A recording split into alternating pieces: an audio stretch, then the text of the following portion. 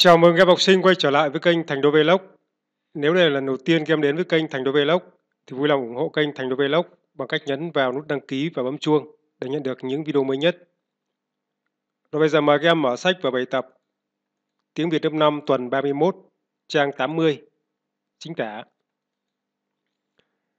Bài tập số 1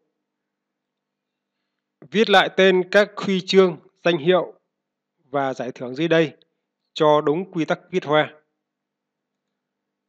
Nghệ sĩ nhân dân Rồi các em biết là cụm từ nghệ sĩ nhân dân thì được chia làm hai bộ phận. Bộ phận thứ nhất là nghệ sĩ và bộ phận thứ hai là nhân dân. Và các em nhớ là từ chữ cái đầu tiên của mỗi bộ phận là phải được viết hoa. Như vậy ở đây các em viết hoa chữ N, hai chữ N là hai chữ cái đầu của mỗi bộ phận.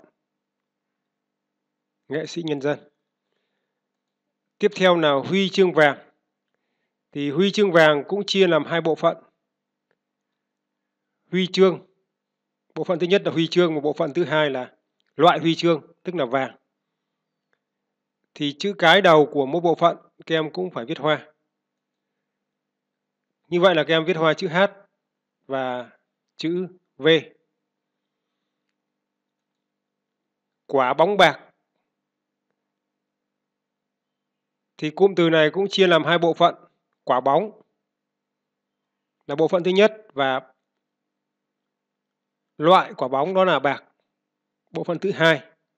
Và các em nhớ viết hoa chữ cái đầu tiên của mỗi bộ phận. Tiếp theo là huy chương bạc. Cụm từ này cũng chia làm hai bộ phận huy chương và và bạc.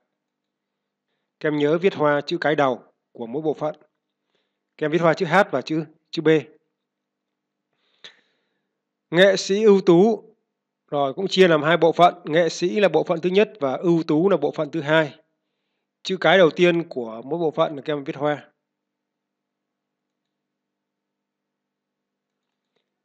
Tiếp theo là quả bóng vàng. Rồi quả bóng vàng cũng chia làm hai bộ phận. Bộ phận thứ nhất là quả bóng và bộ phận thứ hai là vàng. Các em viết hoa chữ cái đầu của mỗi bộ phận. Đôi giày vàng. Bộ phận thứ nhất là đôi giày và bộ phận thứ hai là vàng. Các em viết hoa chữ cái, chữ D và chữ V. Huy chương đồng. Rồi các em viết hoa chữ H và chữ D. Đôi giày bạc các em viết hoa chữ D và chữ B. Đôi giày là bộ phận thứ nhất, bạc là bộ phận thứ hai. Tiếp theo các em sang bài tập số 2, xếp tên các huy chương, danh hiệu và giải thưởng nêu trên vào dòng thích hợp. A là giải thưởng trong các kỳ thi văn hóa, văn nghệ, thể thao. Giải nhất là huy chương vàng. Giải nhì là huy chương bạc và giải ba là huy chương đồng. Rồi các em nhớ huy chương là bộ phận thứ nhất, vàng là bộ phận thứ hai. Các em nhớ viết hoa chữ cái đầu của mỗi bộ phận. Huy chương bạc, huy chương đồng cũng như vậy. Tiếp theo em sang câu B. Danh hiệu dành cho các nghệ sĩ tài năng. Danh hiệu cao quý nhất là nghệ sĩ nhân dân. Danh hiệu cao quý là nghệ sĩ ưu tú. Rồi các em nhớ nhé, nghệ sĩ nhân dân là danh hiệu cao quý nhất. Và danh hiệu cao quý không thôi là nghệ sĩ ưu tú. Tiếp theo em sang câu C. Danh hiệu dành cho cầu thủ, thủ môn bóng đá xuất sắc hàng năm.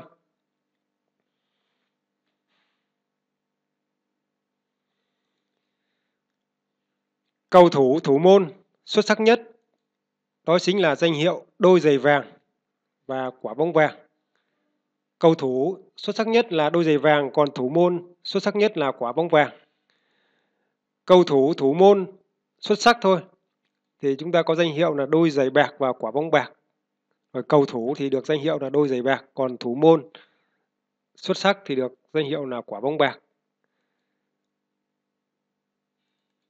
Tiếp theo các em sang bài tập số 3. Viết lại tên các danh hiệu, giải thưởng, huy chương và kỷ niệm chương dưới đây cho đúng quy tắc viết hoa. Rồi danh hiệu, giải thưởng, huy chương, kỷ niệm chương. Nhà giáo nhân dân. Rồi các em nhớ là cụm từ này chia làm hai bộ phận này. Nhà giáo là bộ phận thứ nhất, nhân dân là bộ phận thứ hai và các em viết hoa chữ cái đầu tiên của mỗi bộ phận. Bộ phận thứ nhất thì đã được viết hoa rồi, bộ phận thứ hai chưa được viết hoa, như vậy các em viết hoa. Nhân dân, chữ cái đầu em viết hoa. Tương tự nhà giáo ưu tú thì là ưu tú các em viết hoa chữ cái đầu rồi, nhà giáo chưa viết, như vậy các em viết. Kỷ niệm chương vì sự nghiệp giáo dục.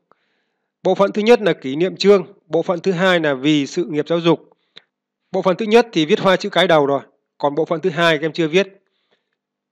Như vậy các em viết hoa. Vì sự nghiệp giáo dục, các em viết hoa chữ V.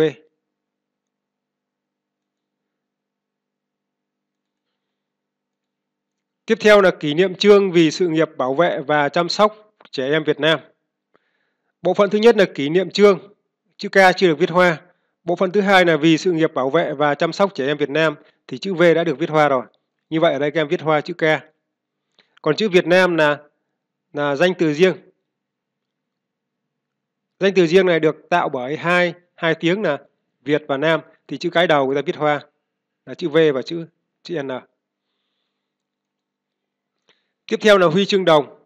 Rồi huy chương là bộ phận thứ nhất, các em viết hoa chữ H. Đồng là bộ phận thứ hai, các em viết hoa chữ D. Rồi giải nhất tuyệt đối. Giải nhất tuyệt đối thì ở đây chỉ có một bộ phận thôi. Chữ cái đầu tiên các em viết hoa. Huy chương vàng, bộ phận thứ nhất là huy chương. Bộ phận thứ hai là là vàng, các em viết hoa chữ H và chữ V. Giải nhất về thực nghiệm. Các em viết hoa chữ cái đầu tiên. Giải nhất về thực nghiệm thì là, ở đây chỉ có một bộ phận thôi. Các em viết hoa chữ cái đầu tiên thôi. Rồi như vậy là video hôm nay xin được kết thúc ở đây. Cảm ơn các em đã dành thời gian để theo dõi video. Đừng quên ủng hộ kênh Thành Đô Vlog bằng cách nhấn vào nút đăng ký và bấm chuông để nhận được những video mới nhất. Rồi xin chào và hẹn gặp lại các em trong các video kế tiếp.